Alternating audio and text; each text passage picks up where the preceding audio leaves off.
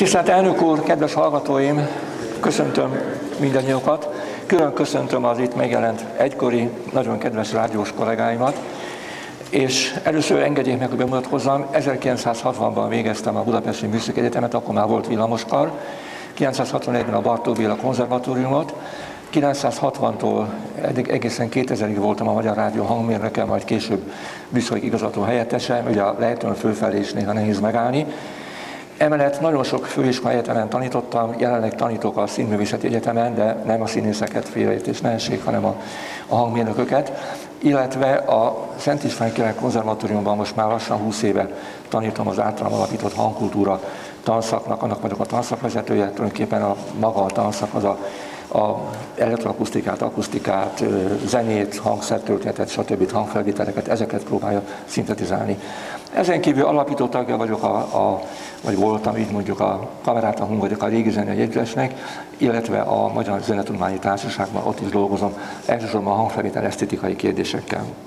Na most, a, ahogy már hallották, a zenének a a rádióval való kapcsolatáról szeretnék beszélni. Előre bocsátom, hogy én az úgynevezett komoly zenét szeretném mondani, bár nincs komoly, meg komolytalan zene. Van jó zene, meg rossz zene. De mégis azt tudom mondani, hogy a komoly zene az igen, a klasszikus zene. A könnyű zene az egész más, az külön igényelne. Nagy közhely az, amikor azt mondom, hogy a zene mindenkor fontos szerepet töltött be a rádiók életében. Nem lehetem azt, hogy amikor 1925-ben a Rákóczi úti pici kis stúdió, mert nagyon kis stúdió volt, megindult, már akkor hamarosan egy teljes kacsó János Vitézt adtak le élőben, de úgy, hogy a kicsi volt a stúdió, 8 fős zenekar, 8 fős kórus, szólistákat nem lehetett csökkenteni, és mindezek karmesterre súlyosbítva, tehát igazi kameraoperát csináltak Kacsó művéből, és annyira nagy volt a siker, hogy a következő évben már a Mozart színigazgatót is így adták le élőben ebből a pici stúdióból, meg a bajacókat. Na most lemezeket is játszottak le egyébként.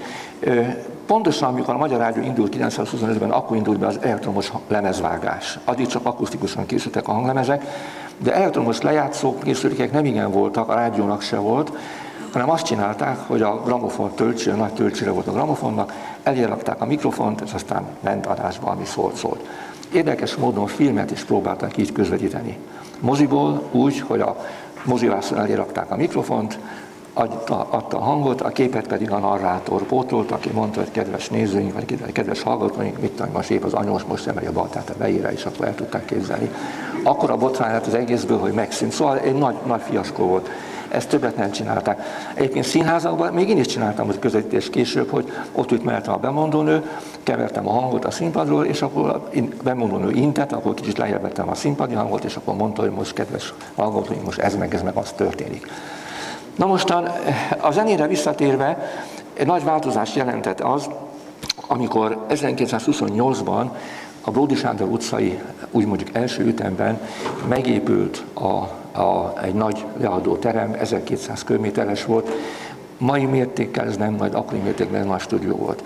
Én csak szeretném egyébként megjegyezni azt, és tudom, hogy ez most kicsit veszélyes téma, hogy amikor most ide néhány éve már folyik a rádiónak a nem is átköltöztetése, hanem kitelepítése a szó legszorosabb politika értelmében a Kunigunda utcába, a város pelemére. Most érzem azt, hogy mit jelentett az, hogy egy magyar rádió a főváros szívében volt. Nem csak elérhetőség szempontjából, hanem abból a szempontból is, hogy, hogy ez, ez tulajdonképpen jelkép. Na most a nagyleadó stúdiót, kérem szépen az első képet, hol a kollega? Ja, igen. Ez, ez volt a nagyleadó stúdiónak két érdekessége volt. Az egyik az, hogy változtatható volt az akusztika. Na most emlékeztetem a kedves hallgatóimat, hogy amikor a művészetek palotájának a nagy hangveseterme épült, akkor óriási a sajtóvisszhangja volt, hogy változtatható az akusztika. Hogy mennyire változtatható elő akusztikus kollégám, nem tudna mesélni, biztos nem fog, mert ez is egy kényes téma, de ott csak a zene és zene között változik. Itt viszont zene és próza ami nagyon nagy akusztikai szélsőséget jelent. Úgy oldották meg, ott voltak a függönyök, a függönyök márványfalakat takartak, amikor a függönyöket szétúzták, akkor a márványnak a hangvisszaverülése az érvényesült, és már rögtön zengőbb lett, és, és zenére alkalmassá vált.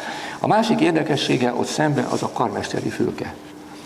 Az kérem szépen az volt a története, hogy Annak idején a rádió elnöke Szőcs Ernő állandóan fején a fülhallgatóval hallgatta a rádióműsort.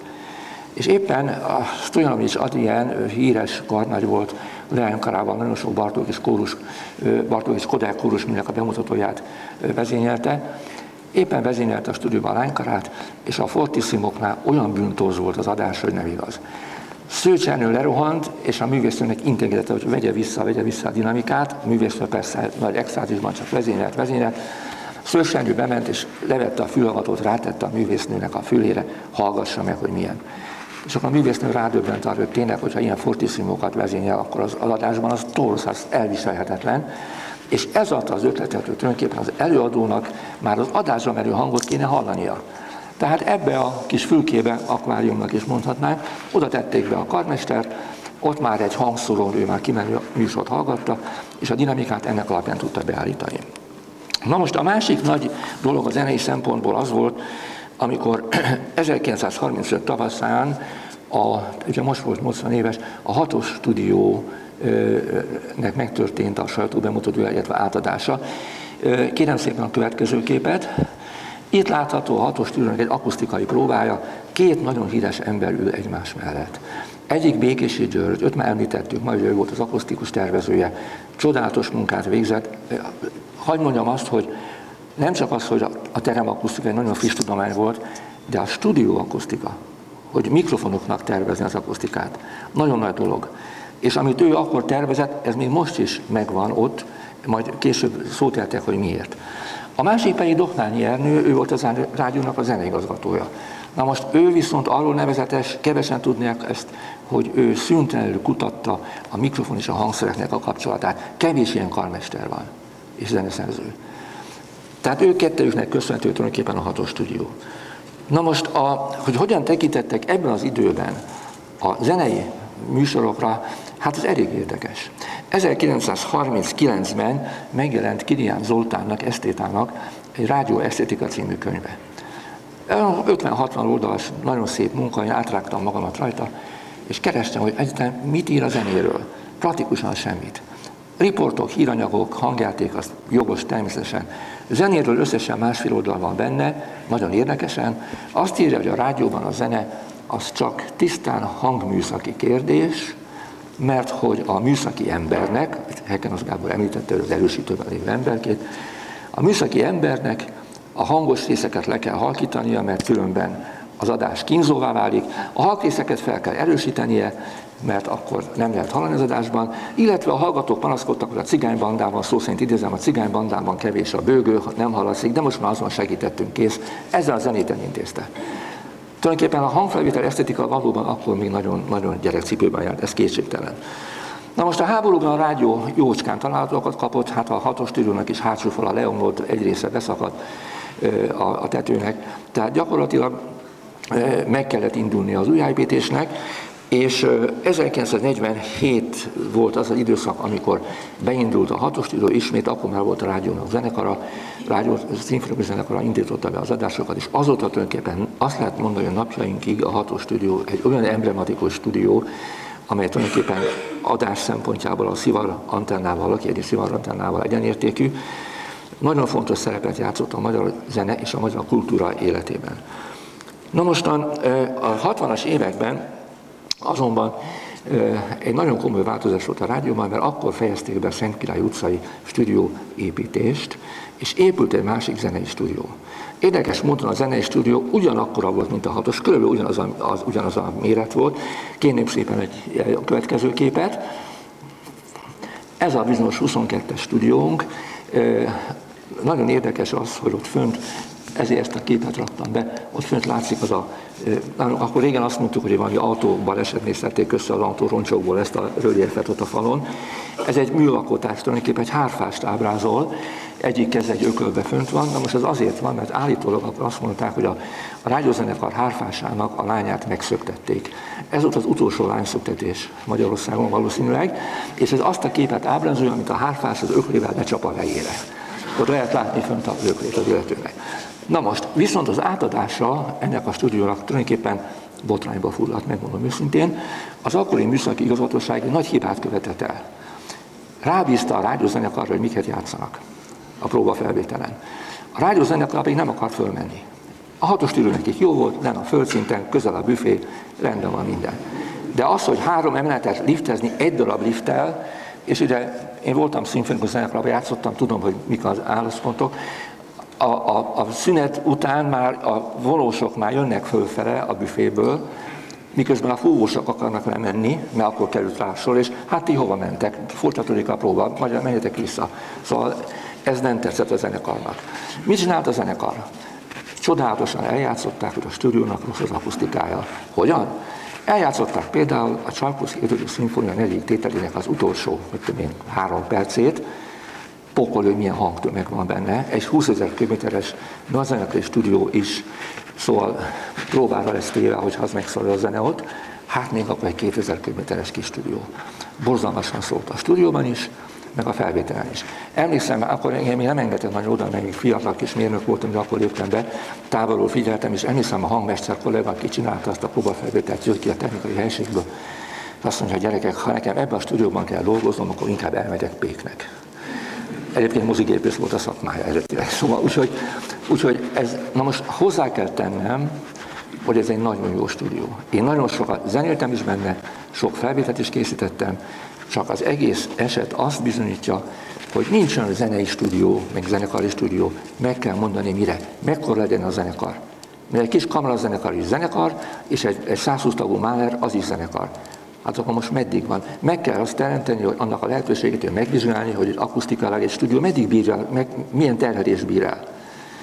Na most ugyanakkor azonban ez az egész fiaskó azért rávilágított arra, hogy végső soron egy, egy akusztikai, új akusztikai létesítmény esetében mégiscsak a felhasználónak kell kimondania azt, hogy jó vagy nem jó.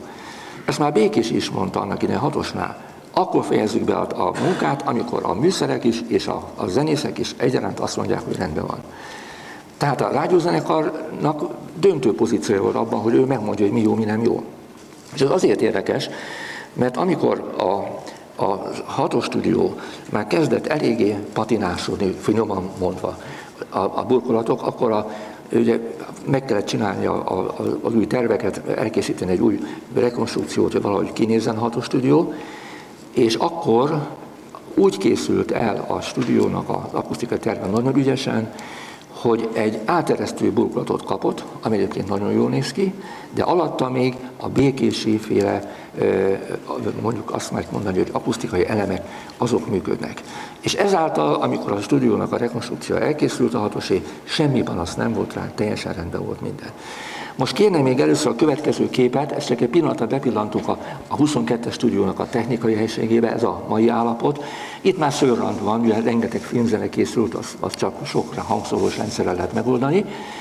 És kérném szépen akkor a következő képet, ez pedig a hatos stúdió a rekonstrukció utáni állapotában, tulajdonképpen nagyon szép ez a stúdió. Azóta is szép, azóta is változatlanul megvan, és egy nagyon fontos változás volt az, hogy ott szembe lehet látni az áttekintő ablakot, ott megépült a sztereó technikai helység.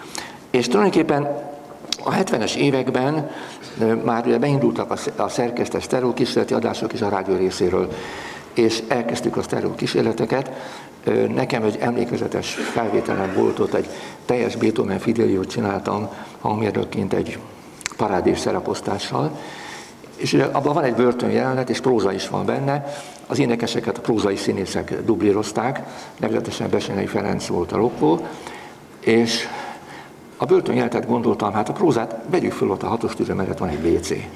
Egy olyan hosszú csempézett folyosó végén a trónus, tehát elég furcsa akusztikája van, ez jó lesz börtönnek. Bemikrofonoztam, bevittem a színészeket, és ott volt az, hogy az a szöveg mondja a Leonora, hogy milyen hideg van itt, mire a Besenyei válasza, hogy a börtönben vagyunk.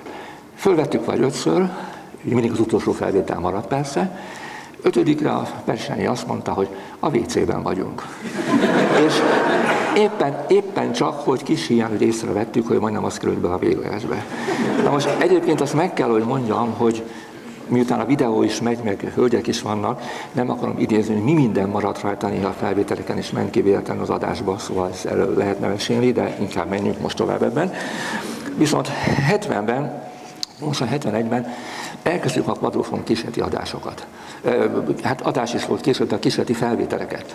Na most ennek a révén mi tulajdonképpen a szocialista rádiók közül elsőként és egy jó darabig egyedüliként jutottunk ki a Párizsi Hangfesztiválra, és ott tartottunk quadrofon bemutatókat, előadásokat, műsorokat, stb. Tehát egy nagyon jó szakmai tanácskozás volt, hiszen dolgoztak quadrofonjával a, a franciák is, azután az olaszok, azután Karaján pedig hát híres Beethoven szimfonias sorozatokat már quadrofon hanggal vett fel tévében, tehát, tehát ez, ez akkor beindult eléggé, és hát ennek során elég sokat sikerült kísérleteznünk is, megmondom őszintén.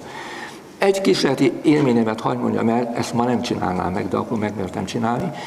A Pesti Ferences templomban csináltunk zenei felvételeket, mert nagyon szépen szólt a templom, ingyen kaptuk meg az egyháztól, nem kellett fizetni semmit, nagyon nehezen tudtuk csak valahogy honorálni a dolgot, ugye hát ez egy 70-es évek nem volt olyan könnyű a szempontból, és arra gondoltam, hogy kísérletezzük ki azt, hogy milyen az, amikor a kvadrofon mikrofon, tehát a szörrand mikrofon, így mondom, ott van az utcán, kint a Ferenciek terén, szépen fölkapom a mikrofont, és bemegyek, és bent közben szól az orgona. Ugye ezt, ezt hangjátékban úgy csinálnánk, hogy van egy utcazaj, van egy templom belső, és a kettőt crossfade mondjuk átkeverjük egymásba. De milyen lehet az, amikor mozog a mikrofon?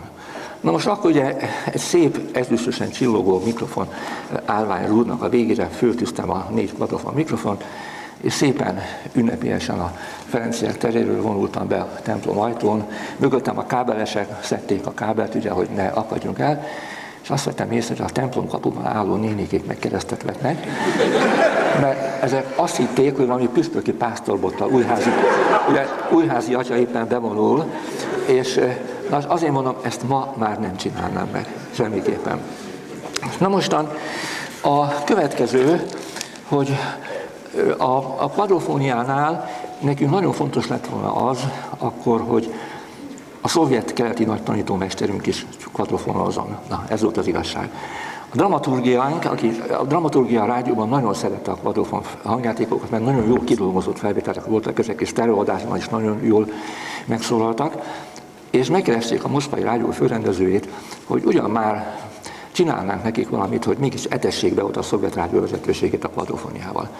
Főrendező egy hihetetlen értelmes, intelligens ember, azt mondta, elvtársak, rendben van, csináljanak egy teljes Boris Godunovot. Már nem a Nuszorszki operát, hanem a Puskin drámát. Neki láttunk, vagy másfél évig dolgoztunk rajta, csodálatosan szép fel, egy, egy legszebb munkám, megmondom őszintén. És hogy milyen, milyen áldozatokat kellett hozni, hagyd mondjam azt például, a Borisban két nagy csata jelenet van, lovas csata. Hát a rádióban vannak ilyen lovas rohamok felvéve, de hát mondtam, nem, hát akkor azt, azt kvadrofóniával kell megcsinálni. Kimentünk Bugacra januárban, csikorgó hidegben, felvenni a lovas rohamot.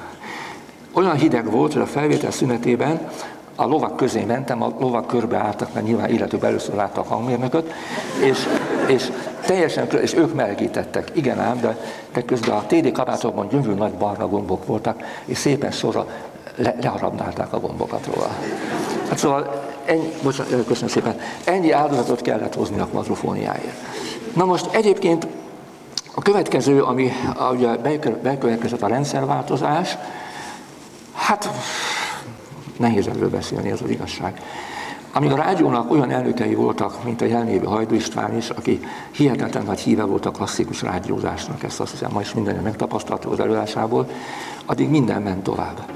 Amikor azonban kezdtek leereszkedni az ejtőernyők a rádió irodaépületének a tetején, és olyanok kerültek be a vezetésbe, akiknek nem sok közük volt lélektanilag a rádióhoz, akkor azért megindult a leépítés. Ez az igazság.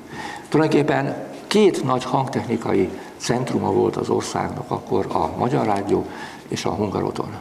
Mind a kettő szép megszűnt. Na most egyebekben azt kell mondjam, hogy összességét tekintve országos szinten, bár a felvételeknek a mennyisége csökkent, de az, hogy létrejöttek különböző magánstúdiók, meg hát most a művészetek palotája egy óriási hang- és videotechnikai centrum, nagyon komoly centrum, nagyon komoly munka folyik ott. Tehát ilyen ez nem gond, de a rádiónak a jelentősége a zenei felvételek terén is csökkent. A stúdiófelvételekben nem, legfeljebb annyi, kevés a stúdiófelvétel, de például a külső koncertközvetéseket, azokat most már általában nem mi csináljuk. Nagyon ritka az, hogy például a Rádió Egyetem kimegy a Zeneakadémiára. helyi stúdiók csinálnak mindent. Na most a következő, amit szeretnék mondani még, hogy ugye volt egy nagy változás a digitális technika. Jelenlévő informatikus kollégáknak szeretném mondani, hogy az első digitális felvételt, zongora felvételt 1904-ben készítették. 1904-ben, mégpedig nem polikarbonáton rögzítették, hanem papírcsíkon, kb. mint a konyhai törlő olyan széles papírcsíkon, lukasztással. Ez volt a gépzongora. Ezek a felvételek egészen 1932-ig mentek, és annyiban digitális, tulajdonképpen annyi bites rendszer, ahány billentyűje van az zongorának, azt, hogy a dinamikát hogy rögzítették, nem tudjuk, mai napig nem tudja senki, pedig ezt kutatják, de a gépzongora tekercseken két oldalt ott van külön a jobb kéz és a bal kéznek a dinamika jele, és le is játsza a dinamikát. Na most azért tekintem digitálisnak, mert ugyan, ugyan úgy van kilukaszta, mint a CD, csak ugye ott nem, nem lézersugárral történt a kiolvasás, bár a lézersugárát elvileg ismerték 900, 1894-ben, azt hiszem a Herbert George Wells akkor írta meg a világok harcát, abban már lézerfegyvert ír le, szóval ez, ez, ez már ismert volt, csak mi nem tudták megcsinálni. Hanem a gépzongoránál légszívással, pneumatikusan történt a billentyűnek a mozgatása a lejátszásnál. És ezek a felvételek ma ugyanolyan zajmentesen játszottak le, alapzajmentesen játszottak le, mint bármelyik CD vagy bármelyik digitális felvétel. Na most egyebekben a digitalizálás a hangtechnikában nagyon érdekes, nagyon kettős dolog ez egyébként. Egyrészt örültünk annak, hogy az alapzaj végre lecsökkent, praktikusan majdnem azt lehet mondani, hogy megszűnik. Ugyanakkor ezt egy híres svájci-osztrák hangmérnök, a Júri Eklin, ő mondta, hogy a digitalizálás révén a korábbi analóg stílus, amely a stúdióban döntően művészi tevékenység volt a hangmérnök részéről, az most átalakult, és döntően műszaki tevékenységé vált az utómunka révén. A stúdióban elkészülnek sok mikrofonnal, sok sával az alapanyagok, aztán utólag a, összejátszák, akár nem is az a hangmérnök, aki más csinálja, megcsinálja az egésznek a végső termékét az utómunka révén. Összességében azt lehet mondani, hogy az analóg felvételekre inkább a szintetikus hangzás jellemző, tehát nagyon szép távlatuk van, mélységi hangsíkok vannak mint a filmeknél is. A digitális, digitális felvételek inkább mindent kicsit közelre hoznak, kicsit objektívebb, de hangsúlyozom, a kettő között én nem tennék olyan különbséget, hogy melyik jobb, vagy melyik nem jó. Mind a két technikával lehet csinálni nagyon szép és nagyon rossz felvételeket is. Na most a következő helyzet, hogy a rádiónak a szerepe jövőbeli szerepe egyáltalán. Ahogyan azt mondottam, hogy a rádióban a zene mindig fontos szerepet töltött be, most azt kell mondjam, hogy a rádióban a zene, mint azt lehet mondani, azt tartja életben a rádiózást. És hát én most már foglalkozom majdnem, majdnem négy évtizeden hanglemez kritikával. Mindig, ha megkapok egy új kiadványt, lemezt, vagy CD-t, most már CD-t inkább, vagy DVD-t, első dolgban megnézem, hogy hol készült, kikészítették. Nagyon sok a rádiós felvétel még mindig, és nagyon sok a televíziós közvetítés felvétel is. És itt a rádió és a tévé nem választható szét, mert nagyon sok DVD úgy készül, hogy a rádió adja a hangot, mint hogy mi nálunk is így volt évtizedeken keresztül, és a televíziósok csinálják a képet. Ugyanis valójában a rádiónak és a televíziónak van meg az a szellemi és technikai háttere, amely a közvetítésekre, hangverseny és opera közvetítésekre alkalmas. A gondom inkább az, hogy most Magyarországon nagyon kevés ilyen műsor készül. Hogyha megfigyeljük a külföldi kulturális adókat, tehát a mezzo, arte, klasszika, kérem szépen az a helyzet, hogy Varsóból, Prágából, hát nyilván Róma, Szentpéterben, stb. Párizsból rengeteg koncert és opera közöttés van, dugig. Magyarországról semmi. És miért van ez? Azért, mert Magyarországon televíziónál is, meg a rádiónál is a jelenlegi helyzetben ezeknek a közvetítésének az ázsiója, a szép kép, a szép hangnak a kultusza, az valahogy ebben a műfajban megszűnt. És az, hogy a magyar zene nem jelenik meg ezekben a külföldi csatornákban, ez teljesen hasonló ahhoz, amit Hekász Gábor mondott, hogy, hogy a, külső, a külföldi EBU, stb. AIS konferenciákon már nem tudunk úgy részt venni, mint régen. Ez ugyanaz a helyzet, hogy a magyar zenekultúra nem jelenik meg a, a nyugati csatornákon, És tulajdonképpen ezzel csak erősítjük azt, hogy, hogy végsősorban mi egy ilyen, ilyen kis távol-keleti nomád nép vagyunk, ide betöltünk a nagy kulturális Európába, és most is még nyereg alatt puhítjuk a hamburgert. Tehát az a helyzet, hogy én mindig azt mondom, hogy a magyar értelmiségnek most legyen a zenész, műszaki, hangmérnök, operatőr, stb. minden nap meg kell küzdenie azért, hogy ennek az országnak a kultúráját, és ezen belül a zene kultúráját nyugaton elismertessék, és elismerjék, és ennek egyik eszköze lenne az, hogy sokkal több zenei közvetítés, opera közvetítés, opera felvétel, stb. készüljön mind a rádiónál, mind pedig a televíziónál. Hát ennyit szerettem volna elmondani, köszönöm szépen a figyelmüket.